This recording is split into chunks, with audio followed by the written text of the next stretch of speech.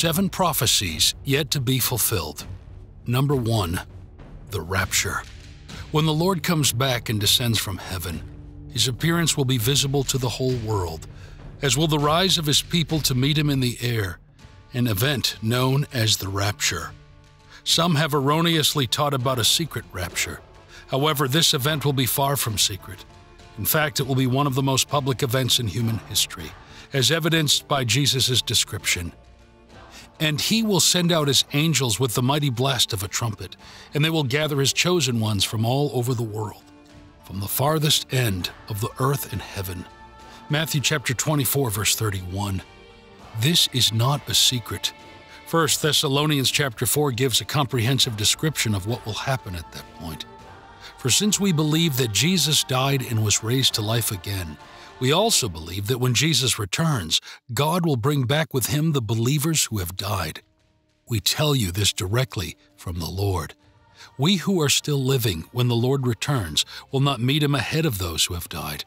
For the Lord himself will come down from heaven with a commanding shout, with the voice of the archangel, and with the trumpet call of God.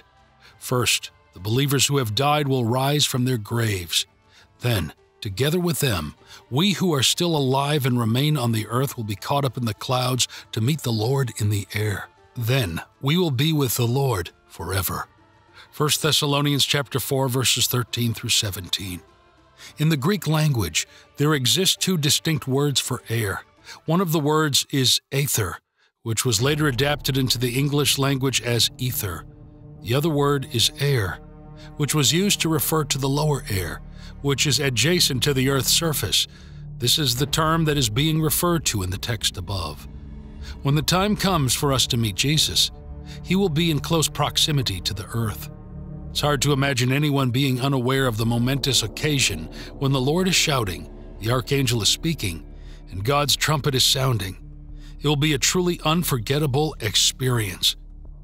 Some people say that the word rapture is not contained in the New Testament, while this statement is true, it largely depends on the translation being used. Since the New Testament was not originally written in English, the interpretation of certain words and phrases can vary. For instance, in 1 Thessalonians chapter 4 verse 17, the phrase caught up in the air to meet the Lord in the air could be translated in different ways, leading to a difference in interpretation. What about this word, rapture? It is a fascinating gripping word in the Greek language, it is known as harpazo. This word is used in several passages of the New Testament to describe the rapture. In John 10, the word is used three times to illustrate how a wolf snatches a sheep from the fold. This action is violent and abrupt. A hired hand will run when he sees a wolf coming. He will abandon the sheep because they don't belong to him, and he isn't their shepherd, and so the wolf attacks them and scatters the flock. John chapter 10, verse 12. In Matthew chapter 13, verses 4 and 19, the phrase, caught away, is used to describe the action of a bird swooping down, picking up a seed, and flying away. In the New Testament, this phrase is used multiple times to describe people being taken up from the earth. For example, after Philip baptized the eunuch in Acts 8, he was caught away, he was raptured. Acts chapter 8 verse 39 when they came up out of the water, the Spirit of the Lord snatched Philip away. The eunuch never saw him again, but went on his way rejoicing. Paul speaks of a friend of his, mentioned twice in 2 Corinthians chapter 12, who was caught up to the third heaven. 2 Corinthians chapter 12 verses 2 through 4. I know a man in Christ who 14 years ago was caught up to the third heaven. Whether it was in the body or out of the body, I do not know. God knows. And I know that this man, whether in the body or apart from the body, I do not know. But God knows, was caught up to paradise and heard inexpressible things, things that no one is permitted to tell. In Revelation chapter 12, verse 5 says, She gave birth to a son, a male child, who will rule all the nations with an iron scepter. And her child was snatched up to God and to his throne. 1 Thessalonians chapter 4, verse 17. After that, we who are still alive and are left will be caught up together with them in the clouds to meet the Lord in the air. And so we will be with the Lord forever. Four times in other passages, the same word is used of taking somebody by force from a crowd or from some situation. Matthew chapter 11, verse 12, John chapter 6, verse 15, Acts chapter 23, verse 10, and Jude chapter 23. So here is a list of the features that the rapture implies. It will happen without warning. It will be sudden and forceful. There will be no time to be getting ready. If we are not prepared, we will miss the rapture, which will happen suddenly according to Matthew chapter 24. At that time, two men will be in the field. One will be taken for judgment, and one will be left. Two women will be grinding at the mill. One will be taken for judgment, and one will be left. Matthew chapter 24 verses 40 through 41. The Gospel of Luke says there will be two in one bed. One will be taken the other left. Luke chapter 17, verse 34. So there is a sudden, dramatic, eternal separation of people closest to each other. Two women working in the mill, the two men working in the field, even the two who share the same bed. When the rapture comes, it snatches one and leaves the other. It's crucial to decide whether we'll be taken or left behind. So be alert, give strict attention, be cautious and active in faith for you do not know which day, whether near or far, your Lord is coming. But understand this if the head of the house had known what time of the night the thief was coming, he would have been on the alert and would have not allowed his house to be broken into.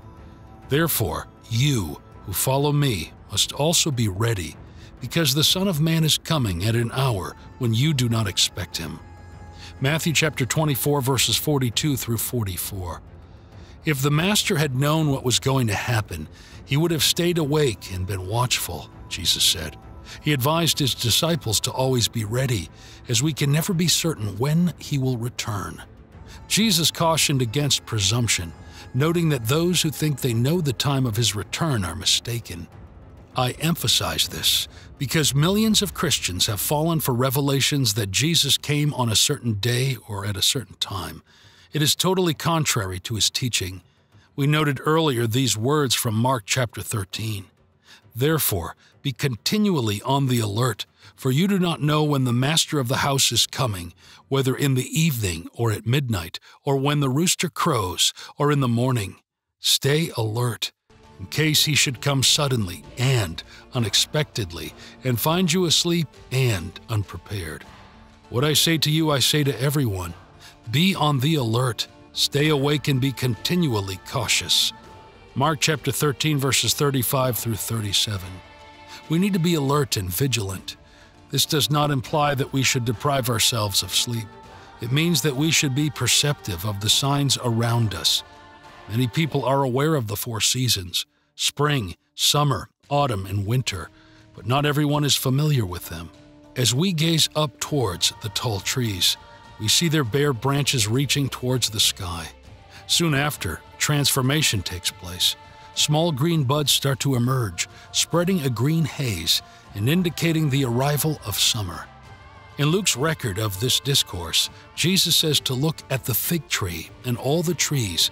Luke chapter 21 verse 29. Jesus is telling us, in effect, when we see the trees putting on their leaves, we do not need to go to the public library to find out what is happening next. Summer is next. And when we see that this is happening in the world, we do not have to go to the church to ask the pastor. We can see for ourselves that a change is occurring. As we gaze up at the trees, we can sense and comprehend the truth. It is crucial for us to remain vigilant and not fall into a deep, animalistic slumber. In the days leading up to the end, we will witness several remarkable and stunning signs in the heavens. These signs will indicate that the arrival of the Lord is imminent. There will be Jesus' glory, the Father's glory, and the glory of the angels. Isaiah chapter 24, verses 23 says that the sun and moon will be embarrassed because their light will be so dim and ineffective by comparison. This appeals to me I can just imagine it. And furthermore, that light, though so brilliant, will not hurt our eyes. I am looking forward to that. It is something worth waiting for, worth enduring for. If we lose sight of it, we are going to get despondent because things are going to get worse. Remember, the Birth pangs are not going to diminish, they're going to increase. When the Lord comes back, descending from heaven, his appearance will be visible to the whole world, as will the rising up of his people to meet him in the air, an event known as the rapture. The rapture is perhaps the most important prophecy for us to understand because it may have a personal impact on us. The upcoming event marks the first part of Christ's two part return to earth. First, remove the church from the world. Second, seven years later, he'll establish his kingdom on earth. There are eight prophecies in the Bible about Christ's second coming, for every one about his first. The New Testament's 260 chapters contain 318 references to Christ's second coming. God's people from all ages, the disciples, the martyrs of the ages, your godly ancestors, and many more, will rise from their graves at the rapture.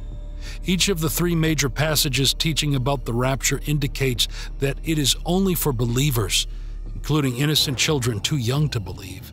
Anyone who does not believe in Jesus as their Lord and Savior will not be raptured into the Lord's presence. In John chapter 14 verses 1 through 3, Jesus spoke to his disciples, who were clearly believers. He assured them that he would prepare a place for them in his Father's house. They, like Christians now, were members of the family of faith. John chapter 14 verses 1 through 3. Do not let your heart be troubled, afraid, cowardly. Believe confidently in God and trust in Him. Have faith, hold on to it, rely on it, keep going, and believe also in me. In my Father's house are many dwelling places. If it were not so, I would have told you, because I am going there to prepare a place for you. And if I go and prepare a place for you, I will come back again, and I will take you to myself, so that where I am, you may be also. I will come again and receive you to myself, describes what we call the rapture, the uniting of Jesus Christ with his faithful followers. The rapture is restricted to believers. Only those who are followers of Christ will be taken up into heaven when he returns. 1 Corinthians chapter 15 verses 50 through 57. I declare to you, brothers and sisters, that flesh and blood cannot inherit the kingdom of God, nor does the perishable inherit the imperishable. Listen, I tell you a mystery. We will not all sleep, but we will all be changed in a flash, in the twinkling of an eye, at the last trumpet. For the trumpet will sound, the dead will be raised imperishable, and we will be changed. For the perishable must clothe itself with the imperishable, and the mortal with immortality. When the perishable has been clothed with the imperishable, and the mortal with immortality, then the saying that is written will come true Death has been swallowed up in victory. Where, O death, is your victory? Where, O death, is your sting? The sting of death is sin, and the power of sin is the law. But thanks be to God, He gives us the victory through our Lord Jesus Christ. The rapture has the power to transform our lives. It is a source of personal comfort and hope. Paul wrote to the Thessalonians about it to ease their grief over their loved ones who had died. Death is not the end. Death's effects will be reversed by the resurrection of believers who have died. Everyone who has lost a loved one to the sting of death can find solace in the knowledge that they will see them again. It is, however, a source of strength. On the night he was arrested, Jesus promised his disciples that he would return for them. Number two, the revelation of the final Antichrist. How can we identify the Antichrist? According to the Bible, during the tribulation, a man known as the Antichrist will emerge with the aim of uniting the world under one authority. This tyrant, likened to his father, the devil, will initially appear as an angel of light, but will eventually reveal his true evil nature through his actions. Here are six answers to questions about this future sign of the apocalypse. Who is the Antichrist? The Antichrist is someone who opposes Christ. Anti can also mean instead of, and both meanings apply to this coming world leader. At the same time, he will openly oppose Christ. The Antichrist will do all in his power to live up to his dreadful moniker. As Satan leads the world's forces into the Battle of Armageddon, he will persecute, torture, and kill God's people. He will become the most tyrannical leader in history, surpassing even Caesar. Although the Bible only mentions the Antichrist by name four times, he is referred to many more times under various identities such as the beast, the little horn, and the man of lawlessness, the one who brings destruction. 2 Thessalonians chapter 2 verse 3, and the lawless one. 2 Thessalonians chapter 2 verse 8. Then the lawless one, the Antichrist, will be revealed, and the Lord Jesus will slay him with the breath of his mouth and bring him to an end by the appearance of his coming. When he comes on the scene, people will flock to him like flies to honey, and they will do anything he asks. How will he unite the nations? The prophet Daniel describes the Antichrist as a fourth beast, with eyes like a man's and a mouth uttering arrogant words. He will speak against the Most High in a pompous manner. This description is from a vision that Daniel saw during the night. Daniel chapter 7 verse 25. He will speak words against the Most High, God, and wear down the saints of the Most High, and he will intend to change the times and the law, and they will be given into his hand for a time, two times, and a half time, three and one half years. As Daniel predicts, the next world leader will be known for his or her eloquence, which will attract the world's attention and administration. Daniel predicts that the orator will speak in high flown terms and blasphemy against God. The Apostle John agrees in Revelation. And the beast was given a mouth, the power of speech, uttering great things and arrogant and blasphemous words. And he was given freedom and authority to act and to do as he pleased for 42 months, three and a half years. Revelation chapter 13, verse 5. The Antichrist is described as a man whose appearance was greater than his brothers. Daniel chapter 7, verse 20. And the meaning of the ten horns, kings, that were on its head, and the other horn, which came up later, and before which three of the horns fell, specifically that horn which had eyes and a mouth that boasted great things, and which looked larger than the others. He will be extremely irresistible to the masses due to his charismatic personality, speaking abilities, and outstanding good looks.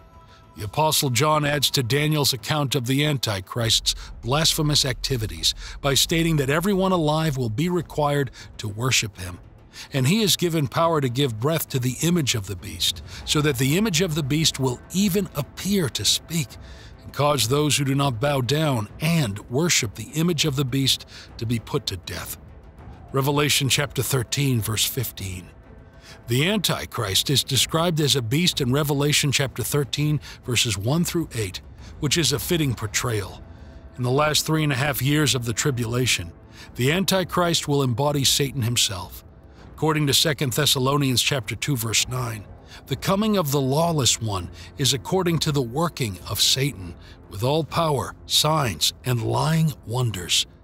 The Antichrist will move from being a regional leader to a global tyrant, cruelly ruling over the world and finally claiming to be a god. Revelation chapter 13 And the dragon gave him his power and his throne and great authority. I saw one of his heads, which seemed to have a fatal wound, but his fatal wound was healed, and the entire earth followed after the beast in amazement. They fell down and worshipped the dragon because he gave his authority to the beast. They also worshiped the beast, saying, Who is like as great as the beast, and who is able to wage war against him? How does the Antichrist gain political power? His rise to power will be subtle and unnoticed at first, even to those closest to him. He will emerge from the common people. And the dragon, Satan, stood on the sandy shore of the sea. Then I saw a vicious beast coming up out of the sea with ten horns and seven heads. And on his horns were ten royal crowns, diadems, and on his heads were blasphemous names. Revelation chapter 13, verse 1. The sea in biblical imagery stands for the general mass of humanity, or more specifically, the Gentile nations. The tribulation, as terrible as it will be, will always be under God's control. Satan is limited by a leash held by God. Who will worship the Antichrist?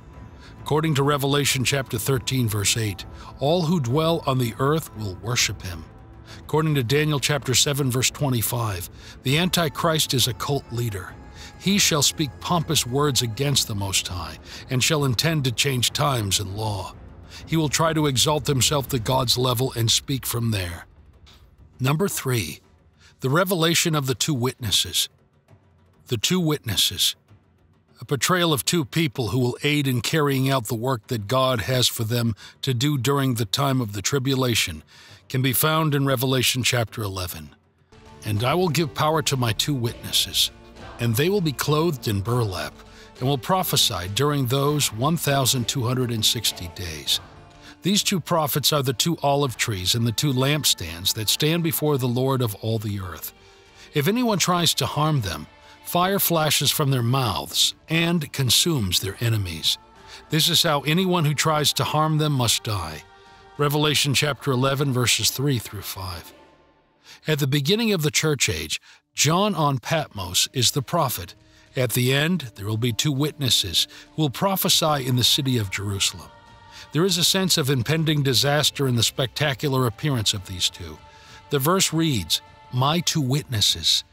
The nature of their ministry is prophetic, as evidenced by the fact that they will prophesy, they preach and display repentance, as seen by their wearing sackcloth, and they have an effective ministry as we read, I will give power. The two witnesses indeed served with power, such power, in fact, that they can witness for 1,260 days despite the world's antagonism. We also read, And if anyone wants to harm them, fire proceeds from their mouth and devours their enemies. God has given the two witnesses special protection, similar to Elijah. The two witnesses in the book of Revelation will have miraculous powers to accompany their message, and no one will be able to stop them in their work. Revelation chapter 11, verse 6.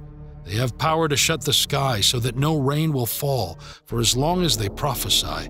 And they have the power to turn the rivers and oceans into blood, and to strike the earth with every kind of plague as often as they wish. The two witnesses will have miraculous power, but they will be killed when their testimony is concluded. The wicked world will rejoice, allowing the bodies of the fallen prophets to lie in the streets. Revelation chapter 11, verses 7 through 10. When they complete their testimony, the beast that comes up out of the bottomless pit will declare war against them, and he will conquer them and kill them. And their bodies will lie in the main street of Jerusalem, the city that is figuratively called Sodom and Egypt, the city where the Lord was crucified. And for three and a half days, all peoples, tribes, languages, and nations will stare at their bodies. No one will be allowed to bury them. All the people who belong to this world will gloat over them and give presents to each other to celebrate the death of the two prophets who had tormented them. And their dead bodies will lie in the street of the great city, which spiritually is called Sodom in Egypt, where also our Lord was crucified. The term as Sodom speaks of immorality, and the term as Egypt speaks of oppression and slavery. Those who dwell on the earth will rejoice over them, make merry, and send gifts to one another. The earth saw and triumphed over the deaths of the two witnesses. Their bodies will lie in the streets for just over three days, while the transnational mass, tormented in conscience by their expressions, gloat over and celebrate their removal. When the two are resurrected in full view of everyone, the relief will turn to terror. Their ascension will be triggered by a loud voice from heaven saying, Come up here. The reviving of the two witnesses. Revelation chapter 11, verses 11 through 12. But after three and a half days, God breathed life into them, and they stood up. Terror struck all who were staring at them. Then a loud voice from heaven called to the two prophets, Come up here. And they rose to heaven in a cloud as their enemies watched. Because the earth was unworthy of these two witnesses, God simply summoned them, and they ascended to heaven in a cloud. We read the phrase, Come up here. The earth was not worthy of these two witnesses, so God simply called them home, and they ascended to heaven in a cloud. It is clear that the masses always fail to listen to the prophets of God. In the same hour, there was a great earthquake. An earthquake brings judgment and inspires many to praise God, but it remains to be seen whether this will result in genuine repentance, leading to salvation. There are three primary theories on the identity of the two witnesses in Revelation. Number one, Moses and Elijah. Moses witnessed more miracles than Abraham, Isaac, and Jacob combined, with several miracles occurring one after another as God interceded on behalf of his people. The witnesses will have the power to convert water into blood, replicating one of Moses' most famous miracles. Also, giving strength to this view is that Moses and Elijah both appeared with Jesus at the Transfiguration. Revelation chapter 11, verse 5. If anyone tries to harm them, fire flashes from their mouths and consumes their enemies. This is how anyone who tries to harm them must die. Some believe Elijah is one of the witnesses because his ministry appears similar to these two witnesses. James chapter 5 verses 17 through 18. Elijah was as human as we are, and yet when he prayed earnestly that no rain would fall, none fell for three and a half years. Then, when he prayed again, the sky sent down rain, and the earth began to yield its crops. In addition, Jewish tradition anticipates the return of Moses and Elijah. This is based on the prediction of Elijah's coming in Malachi chapter 4 verse 5, as well as God's promise to raise a prophet like Moses, which some Jews think requires Moses' return. Number 2. Enoch and Elijah. Because of the extraordinary events surrounding each of their deaths, Enoch and Elijah are often considered potential candidates for the roles of the two witnesses. From what we understand, God has only ever brought two people directly to heaven without their first having to go through the process of dying. The passage in Hebrews chapter 9 verse 27, which states that it is destined for all men to die once, is cited by supporters of this perspective. It would appear that the fact that Enoch and Elijah have not yet been put to death qualifies them for the role of the two witnesses, who will both be put to death once they have completed their respective tasks. Since neither Enoch nor Elijah died a natural death, but were instead carried to heaven, and Hebrews chapter 9 verse 27 states that it is appointed for men to die once. Some people believe that the two witnesses must be Enoch and Elijah. They reason that since it is set for men to die once, Enoch and Elijah must return to the earth to die there. 1 Kings chapter 17 verse 1. Now Elijah, who was from Tishbe in Gilead, told King Ahab, As surely as the Lord, the God of Israel, lives, the God I serve, there will be no dew or rain during the next few years until I give the word. Number 3. They are unknown. It is entirely within God's ability to take two believers considered ordinary and empower them to accomplish the same signs and wonders as Moses and Elijah did. There is nothing in Revelation 11 that compels us to assume a famous identity for the two witnesses. There is an intriguing chapter located in Zechariah 4 that provides us with a model for the two witnesses that are mentioned in Revelation. In a vision that Zechariah gets, he sees a lampstand made entirely of solid gold. So, who are the two Revelation witnesses? The Bible is silent on the subject. All three of the above interpretations are valid and plausible for Christians, and Christians should not be dogmatic about the identity of the two witnesses. We don't know who these two witnesses are, and all attempts to identify them are pure conjecture. We must wait and see who they are, but it does not matter. What they do and what is done to them are important things. Before leaving this section, two anticipations need to be noted. Number 4 the three worst judgments in the book of Revelation the seven seals, the seven bowls, the seven trumpets. The three worst judgments in the book of Revelation. Number one, seals, the seven seals. Revelation chapters 6 through 16 cover Satan on earth. The seven seals are part of God's end of the world judgments. Revelation chapter 6 verses 1 through 17 details the seals. The action begins in chapter 5 of Revelation with the search for someone in heaven and on earth, someone worthy to break the seals and open the scroll. The seven seals in heaven, according to John's vision, holds a scroll, and as each seal is broken, a new judgment is unleashed on the world. John writes, I saw on the right hand of him who sat on the throne a scroll with writing on both sides and sealed with seven seals. The scroll includes God's judgments. No one was judged worthy of breaching the seals and unlocking the scroll, which saddens John. If the scroll could not be opened, evil would not be judged, and evil would continue to plague the earth. While John is sobbing over the unopened scroll and its seven intact seals, he receives excellent news. The Lion of the tribe of Judah, the root of David, has triumphed. He is able to open the scroll and its seven seals. This is a representation of Jesus Christ, the slain Lamb who is also the Lion of judgment. As Jesus takes the scroll to open the seals and deliver judgment on the unbelieving world, the beings in heaven glorify him with a new song. Revelation chapter 5 verse 9. And they sang a new song with these words You are worthy to take the scroll and break its seals and open it, for you were slaughtered, and your blood has ransomed people for God from every tribe and language and people and nation. John chapter 5 verse 22. In addition, the Father judges no one. Instead, he has given the Son absolute authority to judge. The Lamb begins to open the seals in the midst of the worship due to him. The scroll can be unrolled a little further with each seal opened, exposing the judgments God has in store for the tribulation time little by bit. The first four of the seven seals open, releasing what are known as the four horsemen of the apocalypse, because the judgments appear metaphorically as a horse and rider leaving destruction in their path. The first seal, Revelation chapter 6 verses 1 through 2. As I watched, the Lamb broke the first of the seven seals on the scroll. Then I heard one of the four living beings say with a voice like thunder, Come. I looked up and saw a white horse standing there. Its rider carried a bow, and a crown was placed on his head. He rode out to win many battles and gain the victory. The second seal. Great battle erupts on the world when the Lamb releases the second seal. This is represented by a rider on a blazing red horse wielding a huge sword. Revelation chapter 6 verses 3 through 4. When the Lamb broke the second seal, I heard the second living being say, Come.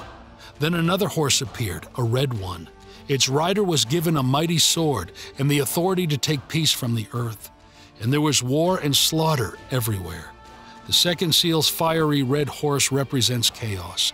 Following the initial period of peace that precedes the tribulation, the world will devolve into violence, with people attempting to destroy one another. The third seal. Famine results from the breakdown of the third of the seven seals. Revelation chapter 6 verses 5 through 6. When the Lamb broke the third seal, I heard the third living being say, Come. I looked up and saw a black horse, and its rider was holding a pair of scales in his hand.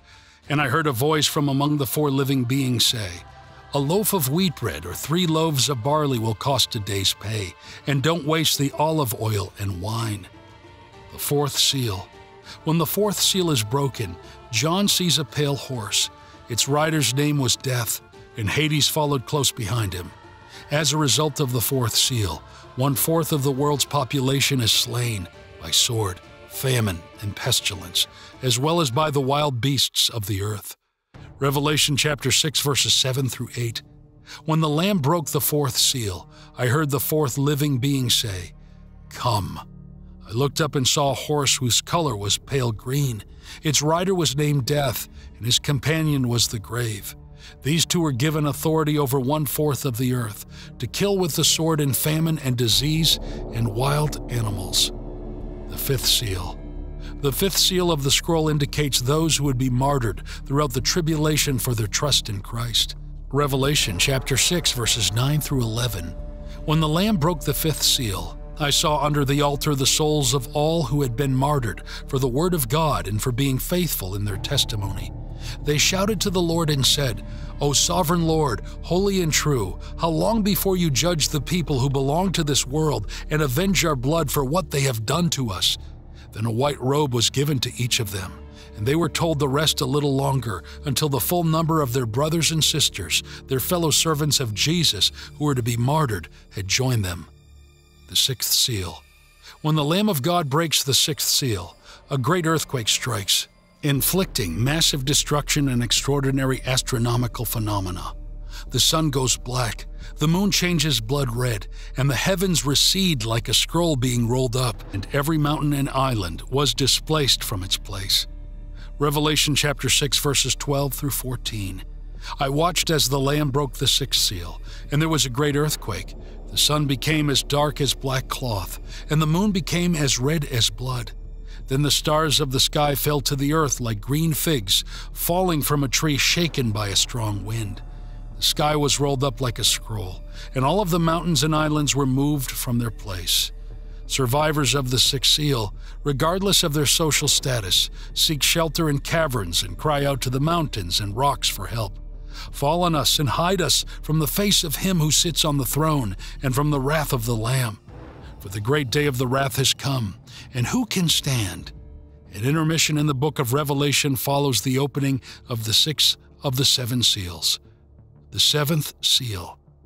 Revelation chapter 8, verse 1. When the Lamb broke the seventh seal on the scroll, there was silence throughout heaven for about half an hour. The judgments that led up to the end of the tribulation are now evident in the scroll, and they are so harsh that all of heaven falls silent. The seventh seal clearly heralds the start of the next round of judgments, as John instantly sees seven angels holding seven trumpets ready to blow. An eighth angel takes a censer and burns much incense in it, indicating God's people's petitions. Revelation chapter 8 verse 5. Then the angel filled the incense burner with fire from the altar and threw it down upon the earth. And thunder crashed, lightning flashed, and there was a terrible earthquake. When the seven seal judgments are completed, the second phase of the tribulation, which includes the seven trumpet judgments, will begin. Number two, the seven trumpets. In Revelation chapters 8 through 9, John describes a time near the end of the world when angels sound seven trumpets. Each trumpet heralds the arrival of a new round of judgment on the people of the earth. The seven trumpets are described in Revelation chapter 8 and 9, as well as in Revelation chapter 11, verses 15 through 19. The trumpets represent disasters. The judgments heralded by the seven trumpets will occur during the tribulation period at the end of the world. Seven angels who stand in God's presence are given seven trumpets, which will be used to unleash another round of judgments. The first trumpet, Revelation chapter 8, verse 7. The first angel blew his trumpet, and hail and fire mixed with blood were thrown down on the earth. One third of the earth was set on fire, one third of the trees were burned, and all the green grass was burned. This plague destroys one third of the world's trees and consumes all grass. This judgment bears some resemblance to Egypt's seventh plague. The second trumpet. Revelation chapter 8, verses 8 through 9. Then the second angel blew his trumpet, and a great mountain of fire was thrown into the sea. One third of the water in the sea became blood. One third of all things living in the sea died, one third of all the ships on the sea were destroyed. In heaven, a second angel sounds a trumpet, the result is that something like a huge mountain, all ablaze, was thrown into the sea. A third of the sea turns to blood, a third of the ships sink, and a third of ocean life dies. Verse 9. This judgment is similar in some ways to the first plague in Egypt. The third trumpet. Revelation chapter 8 verses 10 through 11. Then the third angel blew his trumpet, and a great star fell from the sky, burning like a torch, it fell on one third of the rivers and on the springs of water. The name of the star was bitterness. It made one third of the water bitter, and many people died from drinking the bitter water. The third trumpet judgment is like the second, except it affects the world's freshwater lakes and rivers instead of the oceans. Specifically, a great star, blazing like a torch, falls from the sky and poisons a third of the water supply. Revelation chapter 8 verse 10. The fourth trumpet. Revelation chapter 8, verses 12 through 13. Then the fourth angel blew his trumpet, and one third of the sun was struck, and one third of the moon, and the one third of the stars, and they became dark. And one third of the day was dark, and also one third of the night. Then I looked, and I heard a single eagle crying loudly as it flew through the air Terror, terror, terror to all who belong to this world because of what will happen when the last three angels blow their trumpets. Following the fourth trumpet judgment, John observes a special warning given by an eagle flying through the air. This eagle cries out in a loud voice, Woe! Woe! Woe to the inhabitants of the earth, because of the trumpet blasts about to be sounded by the other three angels. Revelation chapter 8, verse 13. For this reason, the fifth, sixth, and seventh trumpets are referred to as the three woes. The fifth trumpet. The angel of the abyss serves as the king of these demonic locusts. Revelation chapter 9 verse 11. In Hebrew, he is known as Abaddon, and in Greek he is known as Apollyon, which means destroyer. These beings will be given the authority to torture anyone who does not bear God's seal. The pain they cause will be so excruciating that sufferers will wish to die. Abaddon, Apollyon, is the abyss's ruler and the king of these demonic locusts. The sixth trumpet. The sixth trumpet and the second woe heralds the arrival of yet another demonic horde. When the sixth trumpet blows, a voice from God's altar requests the release of the four angels who are bound at the great river Euphrates. These four evil angels command a supernatural cavalry of thousands upon thousands to slay one third of humanity. The seventh trumpet. Then the seventh angel blew his trumpet, and there were loud voices shouting in heaven. The world has now become the kingdom of our Lord and of his Christ, and he will reign forever and ever. Revelation chapter 11, verse 15. The seven trumpet judgments have come to an end. All is set for the seven angels with the seven bowls of God's wrath. These angels stand inside the now open temple, ready to step forward and bring the final judgments on earth. Revelation 15. The seven bowls of Revelation. The concept of the bowls, often referred to as the bowls of wrath or vials of wrath, is found in the book of Revelation, which is the last book of the Bible. Basically, these bowls are like containers of God's wrath. By this time, people had done a lot of evil, especially under a leader called the Antichrist. Before the seven bowls are poured out, there are a series of other events and judgments. The first bowl. Revelation 16 begins with a loud voice from the temple saying to the seven angels. Revelation chapter 16, verses 1 through 2 then I heard a mighty voice from the temple say to the seven angels, Go your ways and pour out on the earth the seven bowls containing God's wrath. So the first angel left the temple and poured out his bowl on the earth, and horrible, malignant sores broke out on everyone who had the mark of the beast and who worshipped his statue. The first angel, carrying his bowl, approached the earth, he emptied its contents. Immediately, a terrifying change occurred. Those who bore the mark of the beast and worshipped its image, the very emblem of their rebellion against the Creator, were suddenly afflicted. These marks are now sores. The second bowl. Following the first bowl, which brought painful sores upon those who bore the mark of the beast, the heavens prepared for another momentous act. The angel stepped forward. In his hand, he held the bowl filled with a mysterious liquid. Revelation chapter 16, verse 3 recounts the moment. Then the second angel poured out his bowl on the sea, and it became like the blood of a corpse, and everything in the sea died. Blood as of a dead man. The sea doesn't necessarily become blood, but as of a corpse's blood. It will match the appearance and sickening character of the blood in a dead body. The third bowl. The rivers and springs aren't spared here either. They too turn into blood. Water, the very essence of life, is transformed into a symbol of death. Revelation chapter 16, verse 4. Then the third angel poured out his bowl into the rivers and the springs of water, and they turned into blood.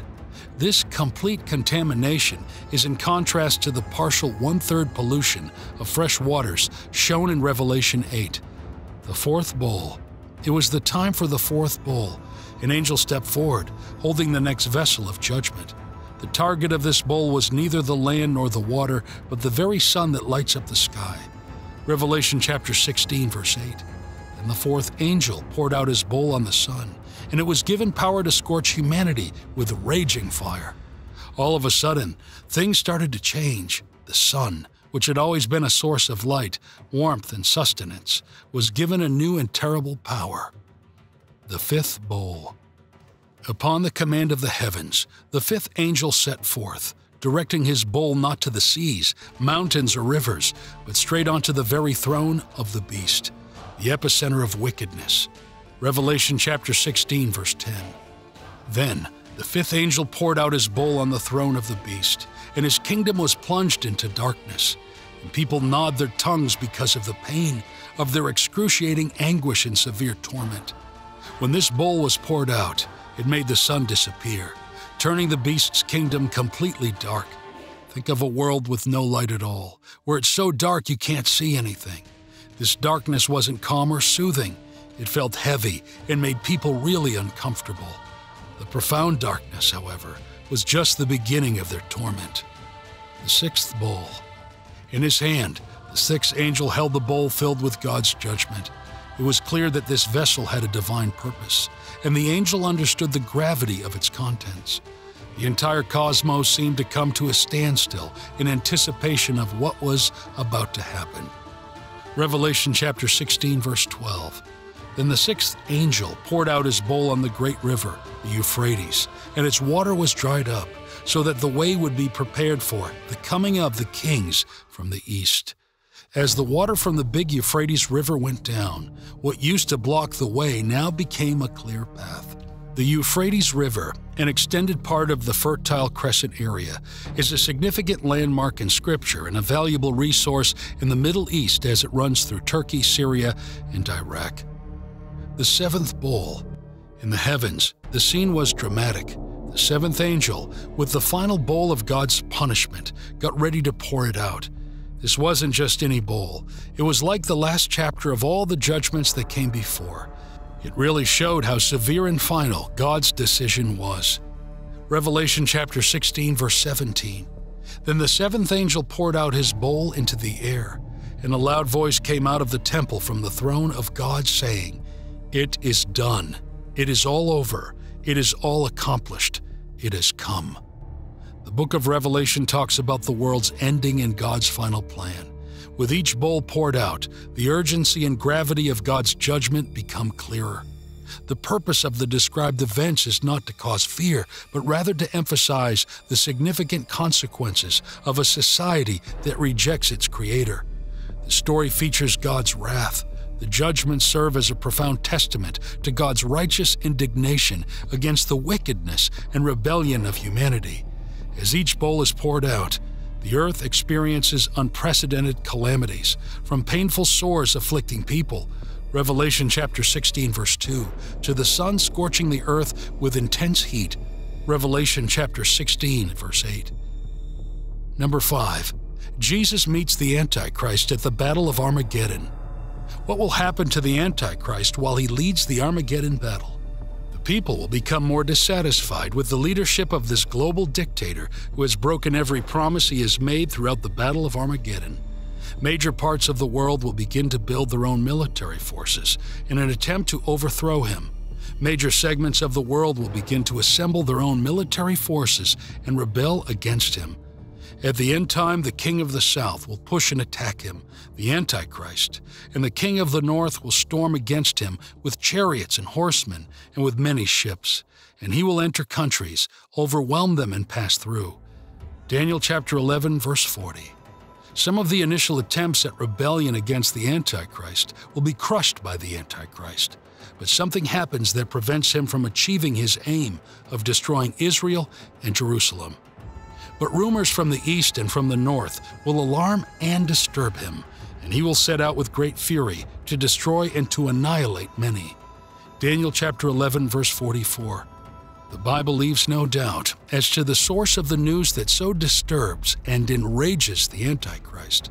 Then the sixth angel poured out his bowl on the great river, Euphrates, and its water was dried up, so that the way would be prepared for the coming of the kings from the east. Revelation chapter 16, verse 12. The Euphrates is one of the greatest rivers in the world. With the disappearance of the Euphrates, the Antichrist will be susceptible to attack by the rulers of the East if the Euphrates disappears. Their arrival will signal the start of the biggest battle in human history. Number 6. The Seal of God and the Mark of the Beast. What is the Seal of God in the book of Revelation? In the New Testament, the term sealed is derived from a Greek word that means to stamp with a private mark. It means to keep something hidden or protect or conserve the sealed object. In ancient times, seals were commonly used in official contexts to ensure the authenticity of important documents. For instance, a Roman centurion would have affixed a seal to a document that was meant to be reviewed only by his superior. Breaking the seal would indicate that the document had been tampered with or read by someone other than the intended recipient. The use of seals was an effective way to maintain the confidentiality and integrity of sensitive information we see the seal of God in the book of Revelation. The book of Revelation, filled with mysterious visions and messages, introduces us to the idea of God's seal in a very special and meaningful way. Revelation chapter 1 verses 1 through 2 tells us, This is the revelation of Jesus Christ, his unveiling of the divine mysteries, which God the Father gave to him to show to his bondservants, believers, the things which must soon take place in their entirety.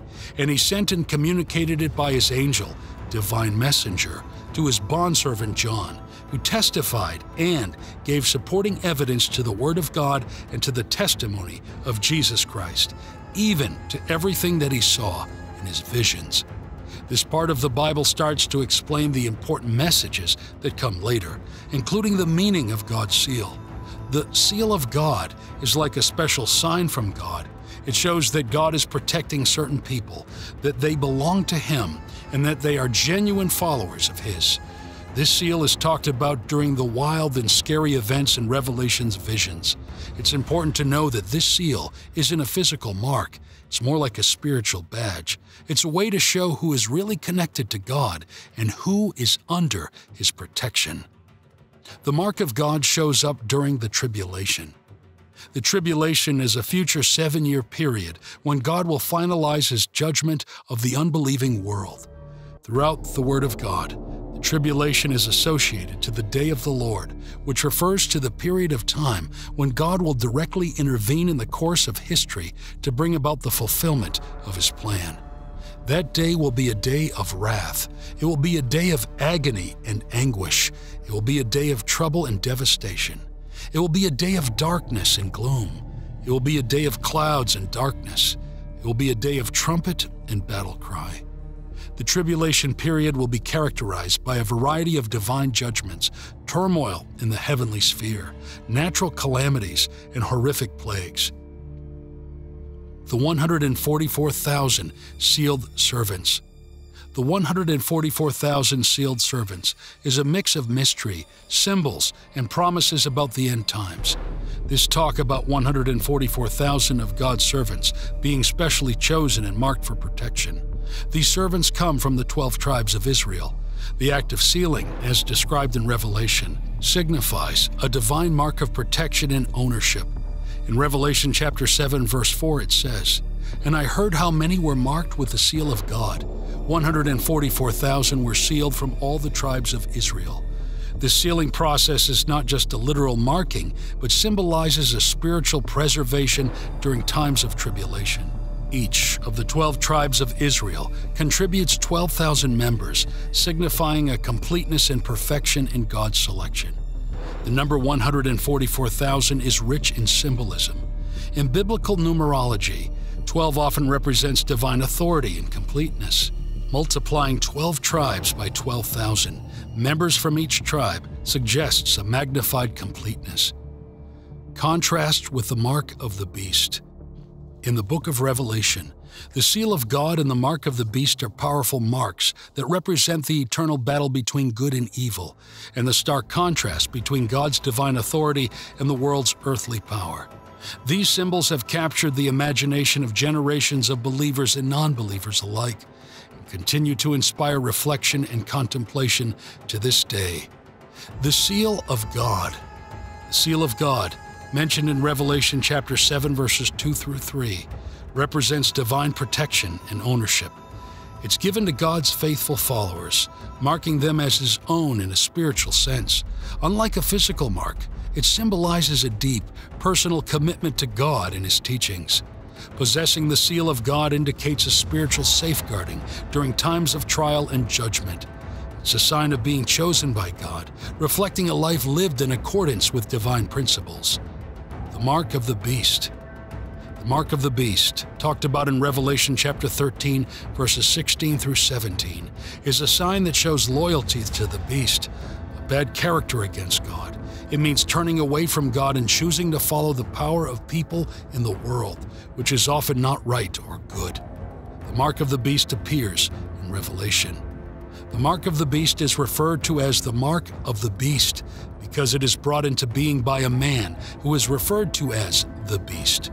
According to the Bible passages in Revelation chapter 16 verse 2 and chapter 19 verse 20, the mark of the beast is a symbol that distinguishes those who worship the beast. Revelation chapter 13 verses 16 through 17. He required everyone, small and great, rich and poor, free and slave, to be given a mark on the right hand or on the forehead. And no one could buy or sell anything without that mark, which was either the name of the beast or the number representing his name. He causes all to receive a mark. A mark will be given to everyone under the government of the beast and his associate. This mark is necessary to participate in the economy, and those without it will not be able to buy or sell anything. Only those bearing a special number on a visible part of their body, hand or forehead, will be allowed to trade, and the number will only be marked on those who engage in imperial idolatry. Revelation chapter 13, verse 18. Wisdom is needed here. Let the one with understanding solve the meaning of the number of the beast, for it is the number of a man. His number is 666. 666 is the one that captures attention. It is made up of sixes, a figure that always alludes to the inability of humans to achieve the seven that represents complete perfection. It is used here as a clue to the identity of the last world dictator before Jesus reigns for a thousand years. The term mark has no special biblical usage apart from its association with the beast. The Greek term charagma was most commonly used for imprints or documents or coins. Charagma is well attested to have been an imperial seal of the Roman Empire used on official documents during the 1st and 2nd centuries. In addition to its use in Revelation, the term charagma appears only once in the New Testament, specifically in Acts chapter 17, verse 29, where it refers to an artistic image. Taking this mark is like turning your back on God. It shows you're choosing to side with those against God. It's not just a mark you can see on your body. It really means you're living your life against what God wants. The seal of God versus mark of the beast. The seal of God and the mark of the beast are two opposing marks. The seal of God represents divine authority and protection and is often associated with spiritual marks that denote faith and obedience to God. On the other hand, the mark of the beast signifies submission to worldly, corrupt power and is often interpreted as a physical or visible sign of compliance with evil forces. These symbols have been used to signify the struggle between good and evil and the importance of choosing the right path in life. Number 7. The New Heaven. The Heavenly City, the New Jerusalem, also known as the Tabernacle of God, Holy City, City of God, Celestial City, City Foursquare, and Heavenly Jerusalem, is a heavenly paradise on earth.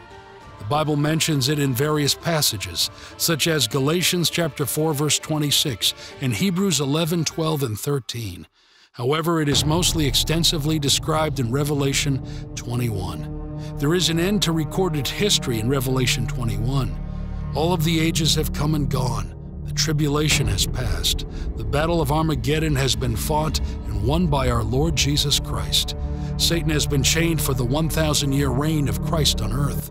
A new glorious temple has been established in Jerusalem. The final rebellion against God has been quashed, and Satan has received his just punishment, an eternity in the lake of fire. The great white throne judgment has taken place, and mankind has been judged. The New Jerusalem is a city that is in heaven. Revelation chapter 21, verses 1 through 2. Then I saw a new heaven and a new earth, for the old heaven and the old earth had disappeared, and the sea was also gone. And I saw the holy city, the New Jerusalem, coming down from God out of heaven like a bride beautifully dressed for her husband.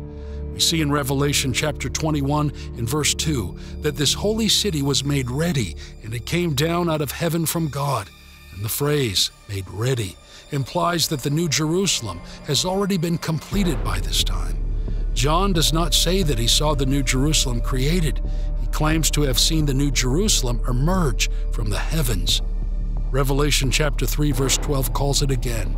All who are victorious will become pillars in the temple of my God, and they will never have to leave it.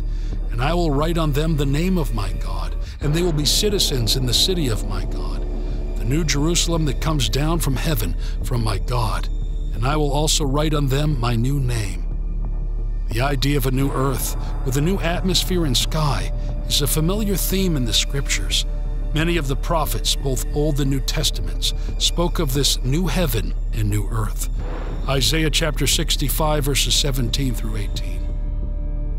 Look, I am creating new heavens and a new earth, and no one will even think about the old ones anymore.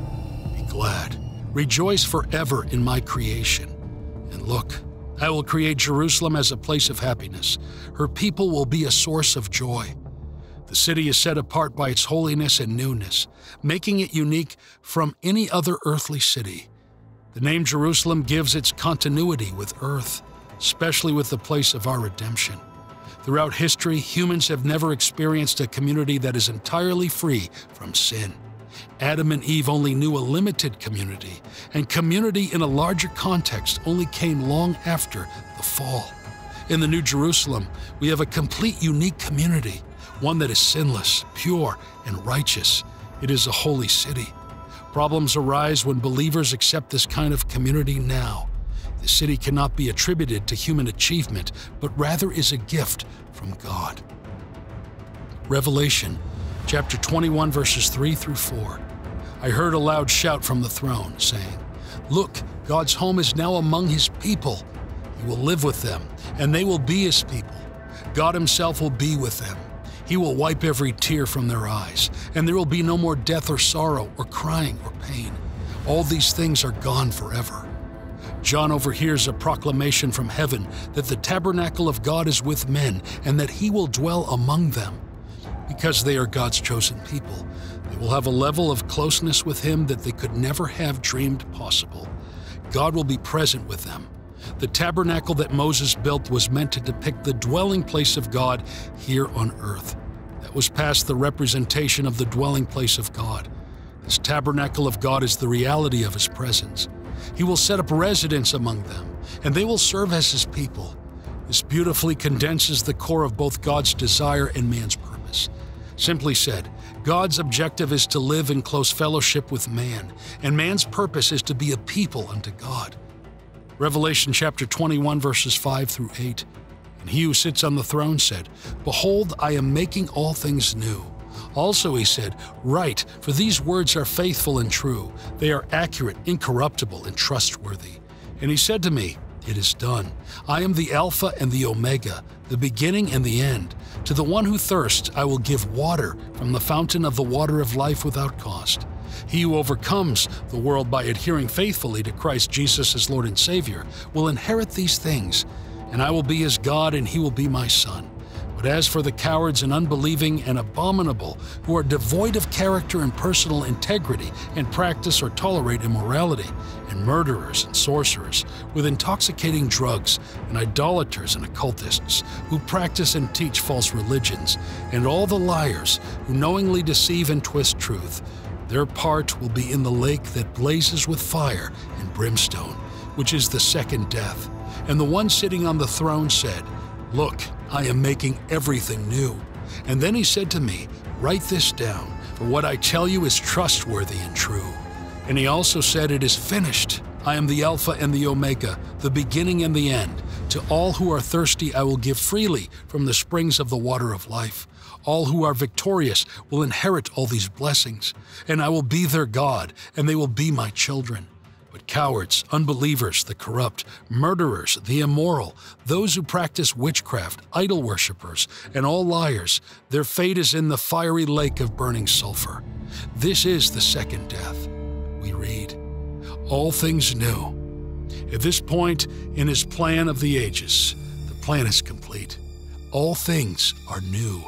Our instinct is to romantically consider innocence as man's perfect state and wish Adam would have never done what he did, but we fail to realize that redeemed man is greater than innocent man, that we gain more in Jesus than we ever lost in Adam. God's perfect state is one of redemption. In Revelation chapter 21, verses 15 through 16, the angel who talked to me held in his hand a gold measuring stick to measure the city, its gates, and its wall. When he measured it, he found it was a square, as wide as it was long. In fact, its length and width and height were each 1,400 miles. One of the reasons that many people try to spiritualize and dismiss this city is because of its enormous size. It is a city that goes above and beyond what you can imagine. Now, if you work that out, to give you an idea that each one of the walls and the cube of it, they're all 1,400 miles, between 1,400 and 1,500 miles, and the ground floor square mile is 2,250,000 square miles on the first level. Did you ever hear it said like that? London covers an area of 140 square miles. The city four square is 2,250,000 square miles on the first floor. This city is 20 times as big as all of New Zealand. It's 10 times as big as Germany. It's 10 times as big as France. It's 40 times as big as all of England. It is ever so much bigger than India. We read, She had a great and high wall. The wall was not needed for defense because there were no more enemies, but the great and high wall gave the city definition and shows that some will be excluded from the city. Only the righteous can enter. Are there really streets of gold in heaven? Is it true that there are streets of gold in heaven? Look down at verse 18, then again at verse 21 of chapter 21. And the construction of its wall was of jasper, and the city was pure gold, like clear glass. And notice verse 21. Twelve gates were twelve pearls. Each individual gate was of one pearl, and the street of the city was pure gold, like transparent glass. I can't imagine it. Once again, can you imagine seeing the city as you approach it? When the Bible says that this city reflects light, it is not from any material combustion. It is not from any consumption of fuel. The light of the world comes from the Lamb himself, and he will be the light of the city at that time. No wonder Paul described our future in this way. In 1 Corinthians chapter 2 verse 9 he says, "That is what the scriptures mean when they say, no eye has seen, no ear has heard, and no mind has imagined what God has prepared for those who love him. In the city are the tree of life for the healing of the nations and the river of life. The New Jerusalem is the ultimate fulfillment of all God's promises. The New Jerusalem is God's goodness made fully manifest. The tree of life is first portrayed in chapter 2, verse 9 of the book of Genesis as being in the midst of the Garden of Eden with another divine tree called the tree of the knowledge of good and evil. The tree of life was planted by God. As a result of his disobedience, Adam lost his eternal life. The tree of life in Eden must have had some role to play in maintaining the life of Adam and Eve. The Bible opens with a description of a tree of life. Now we see the tree of life again. It's a little difficult to picture this picturesque scenery in our minds. It's possible that when John talks about a large street, he's referring to one that has a river running down the middle of it, and that there's a large tree or series of trees that grow with their roots on either side of the river. Let us pray. Dear Lord, we thank you for your guidance and your protection.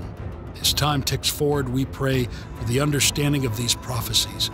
We pray for forgiveness of our sins, both knowingly and unknowingly. We pray that you guide us from now till eternity. In Jesus' name we pray. Amen. However, before all this was creation, and before creation was Jesus, where was Jesus before creation? To watch